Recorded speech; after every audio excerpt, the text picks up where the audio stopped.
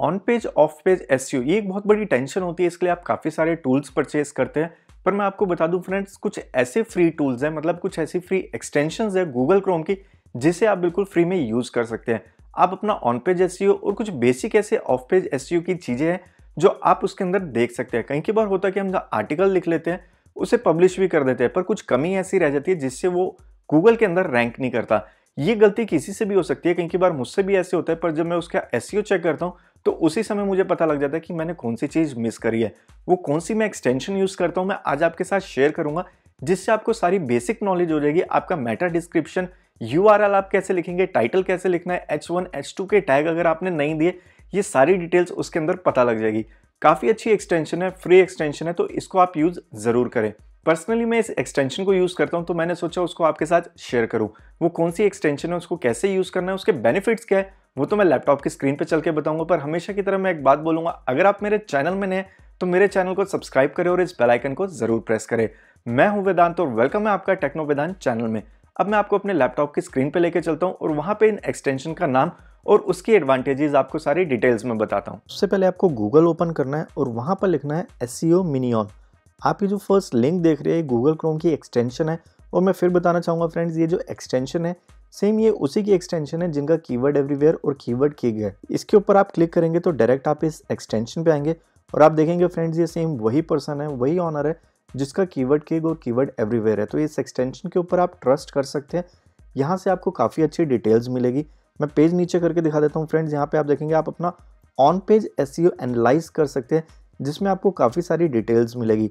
Plus आपके highlights होंगे links जो आपने लिंक्स एक्सटर्नल और इंटरनल लिंक्स को जनरेट करा है। अगर आपके वेब पेज के अंदर कोई ब्रोकर लिंक है तो ये उसी समय फाइंड करेगा जिसे आप ठीक कर सकते हैं। और भी इसके अंदर आपको ऑप्शंस मिलेगी, एक बार इसको इंस्टॉल करके मैं आपको बताता हूँ। यहाँ लिखा है एड टू क्रोम इसके ऊपर आपने क्लिक करना है और एड एक्सटेंशन के ऊपर आप क्लिक करेंगे।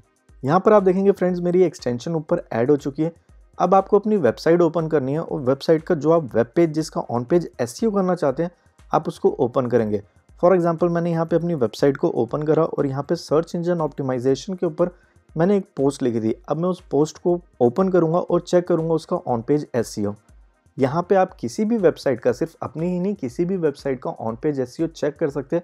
चाहे वो आपके क्लाइंट है या फिर आप किसी दूसरी वेबसाइट का on page S C O देखना चाहते हैं, जिससे आपको ये आइडिया लग जाए कि आपने अपनी वेबसाइट में अपने वेब पेज में कौन सी ऐसी गलती करी है, जो उसने नहीं करी, जिससे उसकी पोस्ट आपकी पोस्ट से ऊपर रैंक हो चुकी है।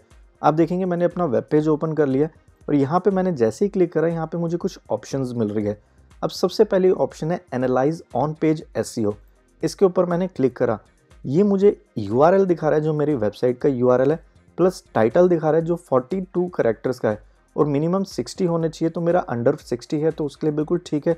डिस्क्रिप्शन में ये एम दिखा रहा है तो इसका मतलब फ्रेंड्स मैंने इसकी डिस्क्रिप्शन ऐड नहीं करी। बहुत पहले मैंने इस आर्टिकल को लिखा था, लगभग आठ नौ महीने हो चुके हैं इस आर्टिकल को लिखे हुए। तो इससे आपको ये पता लग जाएगा कि फ्रेंड्स आपकी छोटी छोटी कहाँ क्या मिस्टेक हो रही है।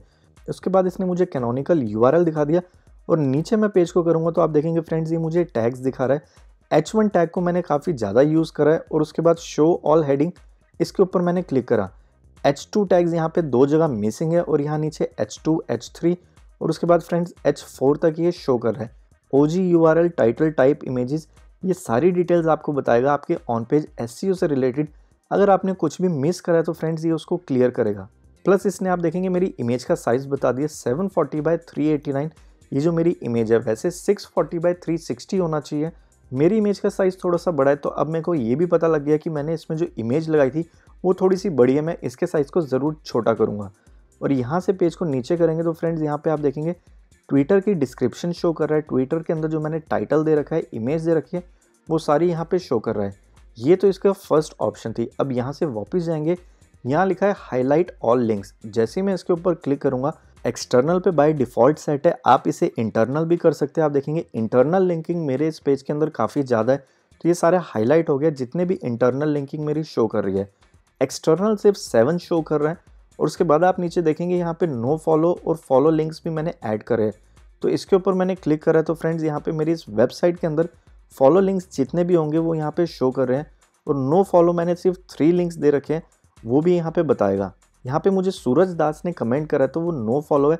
ये इस तरह से आपको बताएगा, जो आपने लिंक दे रखी है वो फॉलो है या नो फॉलो अगर वो फॉलो लिंक है और आप फॉलो नहीं देना चाहते तो उसे आप नो फॉलो कर सकते हैं।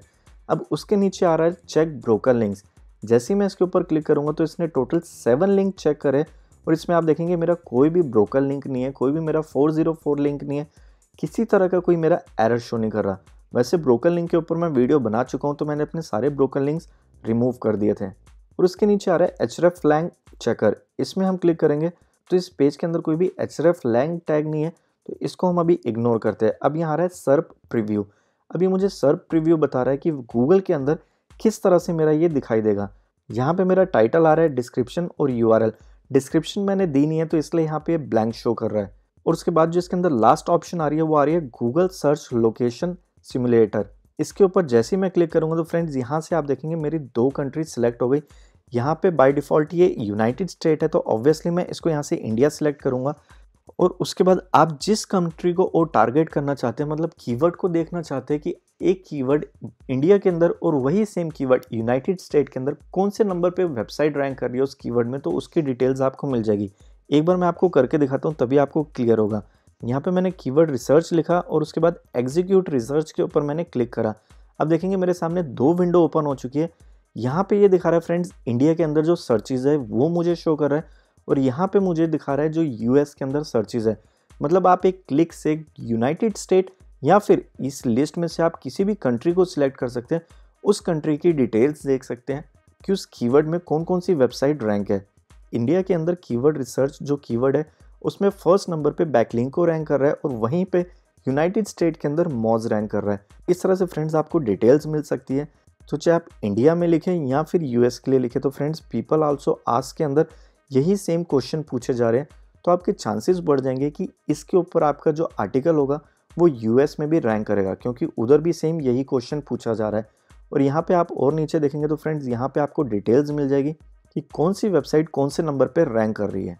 और ये एक्सटेंशन बिल्कुल फ्री है, इसमें आपको कुछ भी पे करने की ज़रूरत नहीं है। नॉर्मली बहुत सारे ऐसे टूल्स आते हैं जिसके लिए आपको काफ़ी अच्छा खासा पे करना पड़ता है, पर इसमें फ्रेंड्स आपको इतना कुछ पे करने की ज़रूरत नहीं है। जस्ट आपने क्लिक करना है और उसके बाद आप सारी चीज़ें एनालाइज कर सकते हैं, वो भी बिल्कुल फ्री में। तो आपने देखा फ्रेंड्स फ्री एक्सटेंशन है, आपको कुछ भी पे करने की ज़रूरत नहीं है, बस आपके पास एक गूगल क्रोम होना ज़रूरी है। और आप अपनी वेबसाइट का ऑन पेज और ऑफ़ पेज एस की जो बेसिक नॉलेज होती है, आपको यहीं से पता लग जाएगी, ये सारी कमियाँ बता देगा जो आपने गलत करी है। और इससे आपको काफ़ी हेल्प मिलेगी अपनी वेबसाइट को गूगल के अंदर रैंक कराने में। आप इतनी मेहनत करें तो फ्रेंड्स गूगल के अंदर उसको रैंक होना भी बहुत ज़रूरी है। आई होप आपको वीडियो ज़रूर अच्छा लगा होगा, इसे लाइक और शेयर ज़रूर करें। मैं आपके लिए ऐसे इंटरेस्टिंग टॉपिक्स लेके आता रहता हूँ, इसलिए मेरे चैनल को सब्सक्राइब करें और इस बेल आइकन को ज़रूर प्रेस करें। ऐसे ही इंटरेस्टिंग टॉपिक के साथ मैं फिर से और बहुत जल्दी मिलने वाला हूँ। तब तक के लिए जय हिंद, जय भारत।